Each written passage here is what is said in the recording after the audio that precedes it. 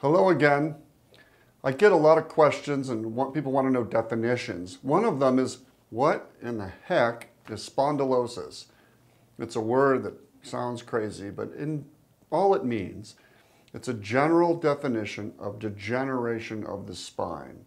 One of the most common causes of spondylosis or degeneration within the spinal column is osteoarthritis, and that causes changes in the joints of the spine, thickening of those joints, and bone spurs can form and pinch nerves. So spondylosis is a broad definition of degenerative changes in the spine itself, which can include, like I said, discs and the joints primarily. Thank you.